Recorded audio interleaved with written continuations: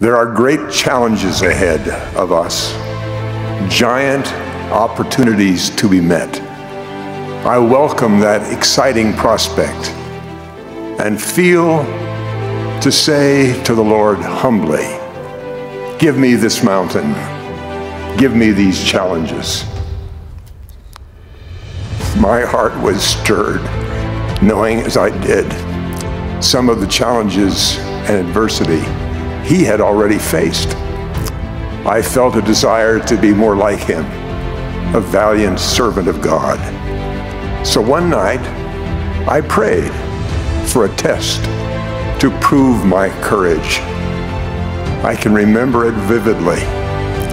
In the evening, I knelt in my bedroom with a faith that seemed almost to fill my heart to bursting. Within a day or two, my prayer was answered.